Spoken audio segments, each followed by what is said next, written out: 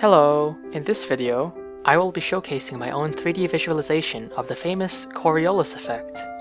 But before I do, what is the Coriolis effect? The Coriolis effect is the intriguing phenomenon that appears to influence the motion of objects over a rotating surface. Understanding how the Coriolis effect works is an absolute necessity for understanding the motion of the atmosphere and surface waters. It also explains many interesting weather patterns that just wouldn't happen if the Earth wasn't rotating. We often describe it in the following way. Objects attempting to move in a straight path relative to a non-rotating surface will end up traveling on a curved path with respect to a rotating surface.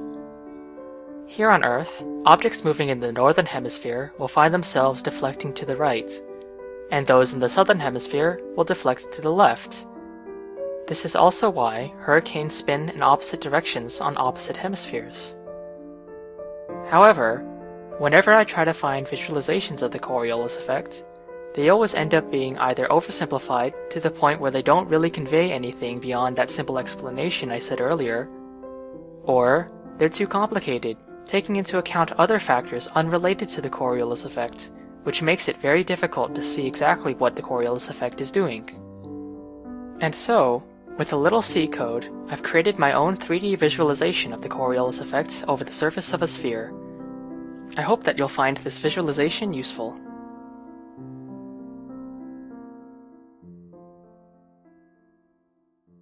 We start with the Earth, which I approximate with a sphere 6,371 kilometers in radius.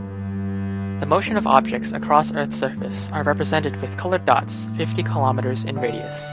It's also worth mentioning that these dots are traveling outward at roughly 100 kilometers an hour, and that one second in this animation represents 24 hours of travel.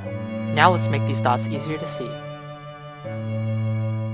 Now let's see what happens when I apply the Coriolis effect to the simulation. Notice how the deflection changes the shape of the paths. As you move towards the North Pole, notice how the paths curl tighter and tighter inwards. This is because the Coriolis effect strengthens as we get near the poles, and weakens as we get near the equator.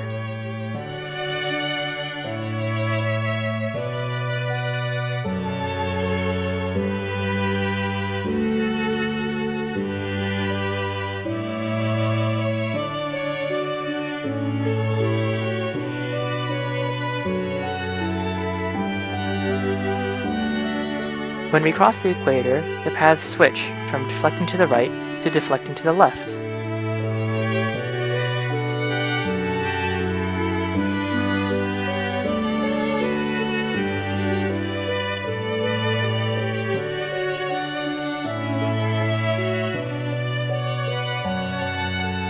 As you predicted, objects in the southern hemisphere deflect to the left, creating this counterclockwise spiral.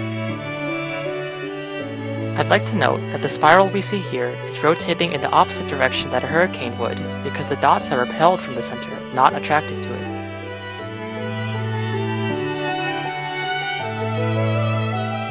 I will now travel around the Earth to demonstrate that the Coriolis effect depends only on latitude, not longitude.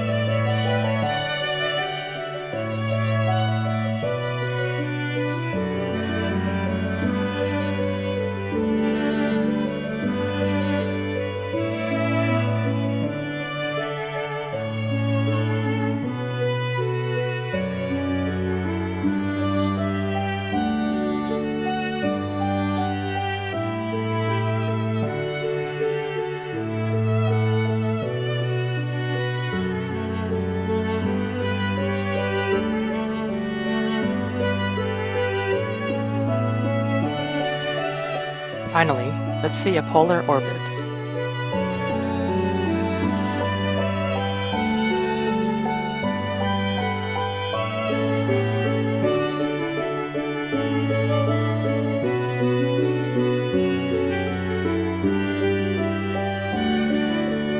we should be able to observe how the symmetry of the Coriolis effect relates to the symmetry of the sphere.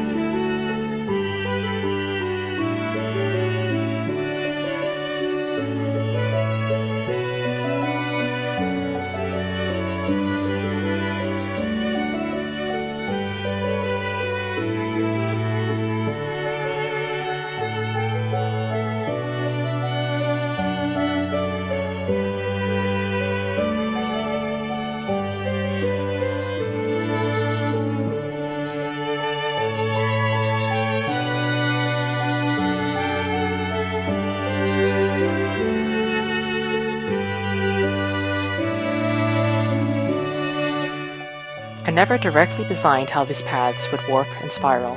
I only added in the Coriolis effects and let the simulation run. It's amazing to see how such elegant forms arise from a force that is completely fictitious in a stationary perspective.